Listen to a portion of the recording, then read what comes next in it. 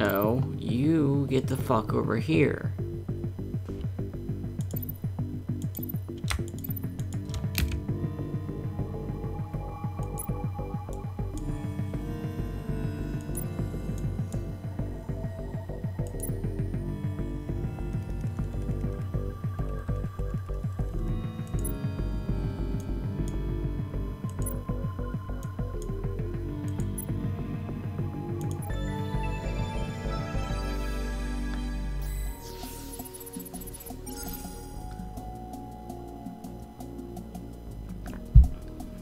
Everything busted except the elevator?